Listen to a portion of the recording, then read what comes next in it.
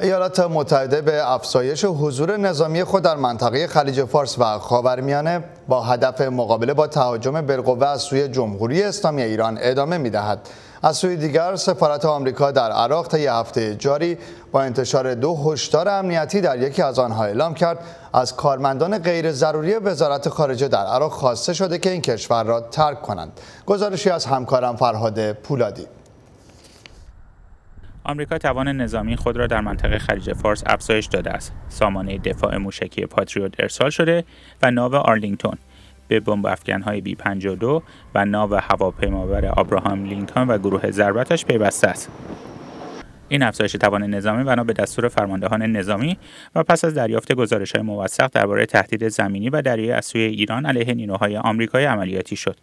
پاتریک شانهان کفیل وزارت دفاع آمریکا این افزایش توان نظامی را تشریح کرد.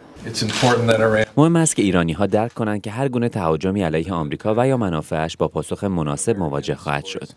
به گفته یک مقام ارشد نظامی آمریکا بخشی از تهدید از سوی ایران به کارگیری تجهیزات نظامی از جمله موشک در کشتیهای تجاری توسط سپاه پاسداران انقلاب اسلامی است ستاد فرماندهی مرکزی ایالات متحده روز گذشته و ساعتی پس از آنکه سرلشکر کریس گیگا معاون انگلیسی فرمانده استراتژی و اطلاعات در اطلاف علیه داعش در عراق گفت ما افزایش تهدید از سوی نیروهای مورد حمایت ایران در عراق و سوریه دریافت نکردیم با انتشار بیانیه‌ای گفته های وی را رد کرد در همین زمینه سفارت آمریکا در بغداد با انتشار دو هشدار امنیتی در روزهای یکشنبه و چهارشنبه ابتداعا از شهروندان آمریکایی خاص به عراق سفر نکنند و در مکانهایی که به عنوان پاتوق آمریکایی مشهور است حضور نیابند.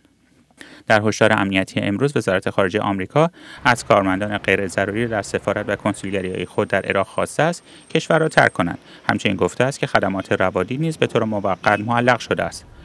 در پی این تحولات دولت پرزیدنت ترامپ اعلام کرده که خواهان جنگ با ایران نیست اما از نیروهای خود و شهروندانش در منطقه حفاظت خواهد کرد.